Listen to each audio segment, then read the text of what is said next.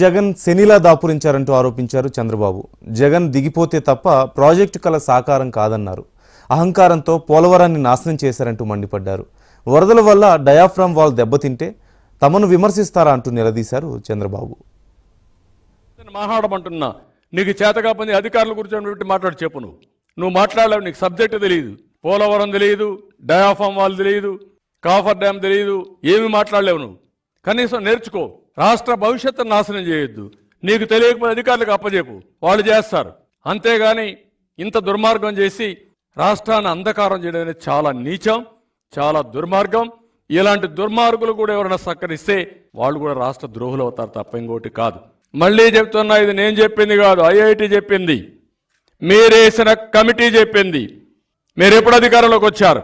రెండు వేల పంతొమ్మిదిలో వచ్చారు. ఏం గాడిదలు కాశారు మీరు? ఏం పని చేశారు మీరు? చేసింది తప్పు. ఆ చేసిన దాన్ని మళ్ళీ ఘోరాలు చేశారు. మీ అసమర్థత మీ చేతగానితనం మీ దద్దమ్మ ప్రభుత్వం వల్ల రెండు వేల ఇరవైలో వరదలు వచ్చి మొత్తం కొట్టుకోబోతే బుద్ధి సిగ్గు జ్ఞానం లేకుండా ఎదురుదాడి చేస్తారా మీరు? ధైర్యం ఉందా మీకు? చెప్పడానికి సిగ్గుపడాలా? తలంచుకోవాలా? రాష్ట్రాన్ని ముంచేశారు మీరు. అలాంటి ముంచేసిన మీరు బాధ ఆవేదనతో చెప్తున్నా కోపంతో చెప్తున్నా కష్టాన్ని బూడిదలో పోసిన పన్నీరు చేశారు. రాష్ట్రాన్ని తగలబెట్టారు. తగలబెట్టి భోగి చూసుకుంటున్నారు. ఇలాంటి దుర్మార్గులను ఏమనాలో మీరు గుర్తుపెట్టుకోవాల్సిన అవసరం ఉంది. అంటే అతి కీలకమైన మూడు. ఒకటి డయాఫామ్ చెప్పాను.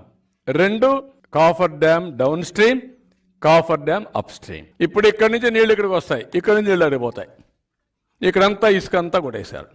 ఇది ECRF dam. Blue line can you answer this సిగ్గుందా మీకు? ఆంబోత్ కేకలేస్తారా మీరు? సిగ్గు లేకుండా మాట్లాడతారా? అర్థం చేసుకోలేకుండా ఉంటే ప్రజలు వీళ్ళ ఆటలు సాగుతాయి. అర్థం చేసుకుంటే ఈ నాయకుల్ని భూస్థాపితం చేయాలి. శాశ్వతంగా శాశ్వత వీళ్ళ రాజకీయ జీవితాన్ని శాశ్వతంగా సమాధి చేయాలి. దానికి కాంక్రీట్ కూడా వేయాలి. అంత దుర్మార్గులు వీళ్ళు. మాటకు విలువ లేదు. చెప్పిన మాట ఈ మారిగా అయ్యిందని బాధ లేదు. ఇప్పుడు కూడా మళ్ళా ఎగరతారు. కేకలేస్తారు అంబోతి కేకలకొకడు నోరుందని నిన్న కూడా మాట్లాడుతున్నారు. నేను ఎంత డబ్బులు ఖర్చు పెట్టారో నేను చెప్తే ఎన్ని టీఎంసీ నీళ్ళు ఇచ్చారో వాళ్ళు చెప్తారు. క్యూసెక్స్ అంట. అంటే ఏంటి మీ ఆటలు? ఏంటి మీ ఆటలు? గుర్తుపెట్టుకోండి. అంత ఈజీగా వదిలిపెట్టాం మిమ్మల్ని. తమాషా అనుకోవద్దండి రాజకీయం అంటే. చాలామందిని చూసాం మేము. చేతగాని దద్దమ్మ రాజకీయాలు చేసి రాష్ట్రాన్ని సర్వనాశనం చేస్తే మీ మాట వినే పరిస్థితులు లేదు. ఆ విషయం మీరు గుర్తుపెట్టుకోవాల్సిన అవసరం ఉంది. మూడు గ్రామాలు అక్కడ ఉన్నాయి. ఏదైతే ప్రాజెక్ట్ వచ్చే ప్రాంతంలో వాళ్ళని షిఫ్ట్ చేస్తే తప్ప అక్కడ డయాఫామ్ వాళ్ళు కానీ వర్కులు జరగవు. అలాంటి షిఫ్ట్ చేయాలంటే అడ్డుకునే ప్రయత్నం కోర్టు పోయే ప్రయత్నం. అక్కడి నుంచి మీకు ఎక్కువ డబ్బులు ఇస్తాను నేను.